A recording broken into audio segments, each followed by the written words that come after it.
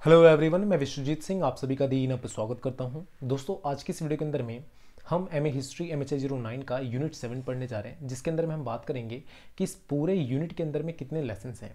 उन लेसन्स के बेसिस पे किस तरह के क्वेश्चंस बन सकते हैं, क्या टॉपिक्स बन सकता है टॉपिक के आंसर क्या हो सकते हैं, उसको हम शॉर्ट में डिस्कस करेंगे। बहुत ही यूजफुल वीडियो होने वाली है आप सभी स्टूडेंट के लिए। कम समय में आप इजीली अपने यूनिट को कवर कर सकते हो सिलेबस को कवर कर सकते हो। चलिए यूनिट को स्टार्ट करते हैं।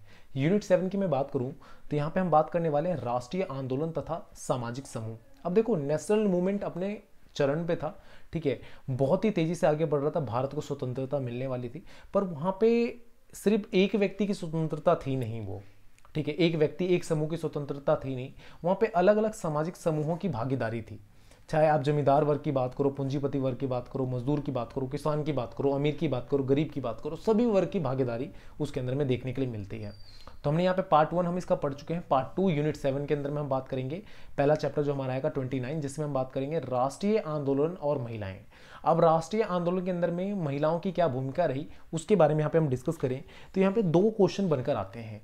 पहला क्वेश्चन तो ये रहता है कि भारतीय राष्ट्रीय आंदोलन के अंदर में महिलाओं की क्या भूमिका रही? पहला क्वेश्चन यही है नॉर्मल सिंपल तो देखो, ये देखा गया कि महिलाएँ जो थी, वो ज़्यादा सहनशील थी, ठीक है, आंदोलनों के अंदर में। जो पुरुष थे, जितने भी थे, पुरुष, वो आंदोलन, जितने भी गांधी जी के जो आंदोलन थे, वो थोड़े शांति वाले आंदोलन थे। ठीक है, अहिंसा वाले आंदोलन थे जिसमें हमें लड़ाई झगड़ा नहीं करना था, पर पुरुष जितने भी थे वो उग्र थे, जल्दी उग्र हो जाते थे, जिसके कारण से वो उस आंदोलन को सही तरीके से लीड नहीं कर पाते थे। तो गांधी जी ने इस फॉल्ट को देखा और वहाँ पर महिलाओं को आंदोलन समर्पित किया, महिलाओं के हाथ में आंदोलन दिया और जब पुरुष सब जेल चले जाते थे तो उनकी पत्नियाँ उस आंदोलन को आगे बढ़ाती थी। ये हमें देखने के लिए मिलता है। इसके अंदर में कई सारी महिलाओं के आपके नाम दिख जाएँगे, जैसे सुचिता कृपलानी, गिरजाबाई सारा साराभाई गांधी। तो इस तरह के कई सारे जो नाम हैं, वो इसके अंदर में फ़ेमस हैं। और कई सारे महिलाओं को लेके किताबें लिखी गई, ठीक है, कई सारे जो मैगजीन होते थे उसके अंदर में छपने लगा, ठीक है, कई सारे बुक्स लिखी गई, जहाँ पे महिलाओं की शक्ति को दिखाया जाने लगा, महिलाओं को जागरूक करने की कोशिश की जाने लगी, ठीक है, महिलाओं के बेसिस पे वहाँ पे चीज़ें बनाई गई, वहाँ पे कई सारे संगठन बनाए गए, महिला ग्रुप्स बनाए गए, जो उन चीज़ों को लीड करते थे तो वहाँ पर आपको वो बताना है कि किस तरह से राष्ट्रीय आंदोलन के अंदर में महिलाओं की भागीदारी रहती है। यहाँ पे एक क्वेश्चन ये भी बन जाता है कि गांधी जी ने किस तरह से महिलाओं को सार्वजनिक परिवर्तन, जो मतलब गांधी जी महिलाओं के जो योगदान थे, उनके जीवन में किस तरह से सार्वजनिक परिवर्तन का काम किया? ठीक है, जैसे महिलाएँ पहले क्या थी कि वो सिर्फ़ घर बारी का काम कर रही हैं, घर के अंदर तक सीमित है। तो किस तरह से उनके जीवन में सार्वजनिक परिवर्तन का काम किया गांधी जी ने, वो यहाँ पे आपको डिफाइन करना है। तो जैसे मैंने पहले ही बताया कि गांधी जी ने ये देखा कि महिलाएँ क्या है, ज़्यादा सहनशील है, ज़्यादा ज़्यादा सक्षम है वो अपनी चीज़ों को लेकर।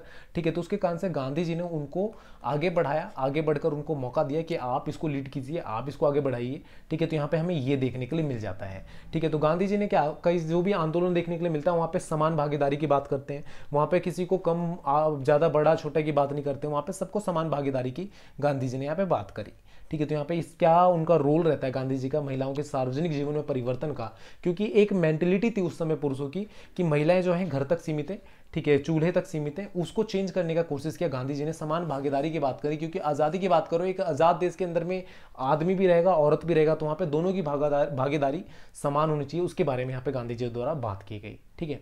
अगले चैप्टर के अंदर हम बात करते हैं चैप्टर नंबर थर्टी जिसके अंदर हम बात करते हैं राष्ट्रीय आंदोलन के अंदर में दलित। अब देखो, दलितों की भी भागीदारी यहाँ पे देखने के लिए मिलती है। गांधी जी द्वारा समान अधिकार की बात की गई, सभी लोग समान इसके बारे में बात किया गया। बाबा साहब अंबेडकर के द्वारा भी इन चीज़ों के बारे में फोकस किया गया, उन्होंने भी इन चीज़ों के ऊपर में बोला। ठीक है? तो यहाँ पे जो राष्ट्रीय आंदोलन के अंदर में दलितों का क्या दृष्टिकोण रहा? दलितों की प्रति की क्या दृष्टिकोण रहा? राष्ट्रवादियों की क्या दृष्टिकोण रहा? उसको लेकर एक क्वेश्चन बन क्या आता है कि राष्ट्रवादी आंदोलन के अंदर में दलितों की भूमिका, ठीक है? या दलितों की दृष्टिकोण। तो यहाँ पे सबसे बड़ा एक दृष्टिकोण ये रहता है कि अस्पर्शता जो अनटचबिलिटी थी, उसको लेकर यहाँ पे मुहिम छोड़ा, छेड़ा गया, ठीक है? कि अस्पर्शता को दूर किया जाए। जो दलित है, उस समुदाय को भी आंदोलन में मेन स्ट्रीम में लाया जाए, ठीक है, आंदोलन के अंदर में शामिल किया जाए, ठीक है, सामाजिक सुधार की ज़रूरत है, उसको किया जाए, ठीक है। जो स्वच्छ जीवन है, उनको भी दिया जाए। जैसे गांधी जी का आप देखोगे, हरिजन जो उसकी पत्रिका होती थी, हरिजन क्यों रखा गया? क्योंकि वो दलितों को समर्थन करना चाहते थे, ठीक है? और गांधी जी ने खुद कई बार साफ़ सफ़ाई का काम किया, स्वच्छता का काम किया। जैसे आपने जब दो अक्टूबर को स्वच्छ भारत अभियान स्टार्ट करते हुए देखा होगा डी नेशनल पर कई बार फुटेज मिलती है, जब गांधी जी साफ़ सफ़ाई कर रहे होते थे। तो वो चीज़ें वहाँ पर देखने के लिए मिलता है। शिक्षा का अधिकार, स्वच्छता का अधिकार, सामाजिक सुधार का अधिकार, अस्पृश्यता का अधिकार, इन सब चीज़ों के बारे में बात किया गया और वहाँ से दलितों को भी राष्ट्रवादी आंदोलन के अंदर में शामिल किया गया। ठीक है? अगला जो चैप्टर आता है, चैप्टर नंबर थर्टी वन, जहाँ पे हम बात करते हैं राष्ट्रीय आंदोलन और अल्पसंख्यक। जो अल्पसंख्यक वर्ग था, वो राष्ट्रीय आंदोलन के अंदर में किस तरह से पार्टिसिपेट कर रहा था? तो यहाँ पे कुछ खास क्वेश्चन ही बनता है, पर एक क्वेश्चन ये ज़रूर बनता है कि जो अठारह से लेकर ठीक है, अठारह से लेकर 1914 तक का जो पूरा दौर रहता है, वहाँ पे कांग्रेस की मुस्लिमों को लेकर क्या भूमिका रहती है, अल्पसंख्यकों को लेकर क्या भूमिका रहती है, इसको लेकर यहाँ पे क्वेश्चन बन जाता है तो इसको आपको आंसर देना पड़ेगा। तो यहाँ पे नॉर्मली देखोगे ना, मुस्लिम और कांग्रेस का यहाँ पे जो समर्थन की बात करता है तो नॉर्मली एक मैंटेलिटी ये थी लोगों की कि जो जो ये कांग्रेस पार्टी है, वो आम लोगों की बात नहीं करता। ठीक है, वो भारतीयों की बात नहीं करता। इसके बारे में यहाँ पे मेंटेलिटी बनी हुई थी अठारह से लेकर 1914 के बीच में। इसका रीज़न ये रहता है कि जो कांग्रेस पार्टी की स्थापना थी, वो अंग्रेज़ों के द्वारा की गई थी। ठीक है, अंग्रेज़ों ने इसकी स्थापना करी जिसके कारण से लोगों को लगता था कि हमारी बात तो करता ही नहीं है ये। ये तो अंग्रेज़ों की पार्टी, अंग्रेज़ों ने बनाया, इसके अंग्रेज़ों की बात करेगा। ठीक है तो वहाँ पर थोड़ा सा ये मिसकम्युनिकेशन था। थोड़ा सा वहाँ पर चीज़ें चेंजेस होती हैं धीरे धीरे परिवर्तन होता है। नए नए जो अध्यक्ष आते हैं अलग अलग विचारधारा के होते हैं अलग अलग लोगों को जोड़ा जाता है। ठीक है, दोनों वर्गों को जोड़ा जाता है। पर यहाँ पे आगे समय के साथ में यहाँ पे क्या देखने के लिए मिलता है कि मुस्लिमों के लिए एक नई पार्टी बनकर उभर आती है, जो मुस्लिम लीग के नाम से फ़ेमस हो जाती है और वहाँ पे इस तरह से वर्क करती है। ठीक है तो आपको यहाँ पे थोड़ा सा डिफाइन करना पड़ेगा कि कांग्रेस का क्या रोल रहता है, क्या उसका स्टेप रहता है, क्या उसके मूवमेंट्स रहते हैं। ठीक है अल्पसंख्यकों को ग्रुप्स को लेकर, चाहे मुस्लिम हो, चाहे दूसरे अल्पसंख्यक ग्रुप हो, उनको लेकर वहाँ पर आपको ये बताना पड़ेगा। कुछ खास इसके अंदर में रहता नहीं है, इस यूनिट के अंदर में एक ही क्वेश्चन जो इंपॉर्टेंट रहता है, महिला वाला और दूसरा अगर आप देखोगे तो दलित वाला, ये दो लेसन है, वो इंपॉर्टेंट है।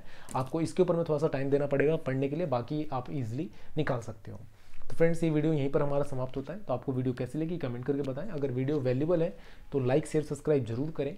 और अगर आप एमए हिस्ट्री का नंबर अच्छे लाने चाहते हो, हमारे साथ एम ए कंप्लीट करना चाहते हो तो हमारे चैनल को ज्वाइन कर सकते हो। सब्सक्राइब के बगल में ज्वाइन का बटन है। एक छोटा सा अमाउंट पे करके पर मंथ आप हमारे साथ ज्वाइन करके अपना एम हिस्ट्री कंप्लीट कर सकते हो। तो friends thank you so much for watching me thank you so much for listening me bye take care all the best